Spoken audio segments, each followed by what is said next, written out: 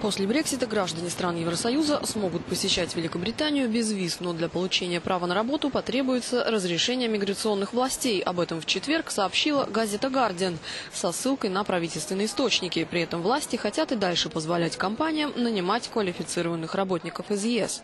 Источники «Гардиан» отвергли утверждение, что после Брексита Лондон введет квоты на выдачу разрешений на работу для европейских граждан в определенных секторах занятости. По данным Национальной статистической службы Великобритании, в период с апреля по июнь число работников из стран ЕС достигло 2 миллионов 370 тысяч и превысило прошлогодний показатель.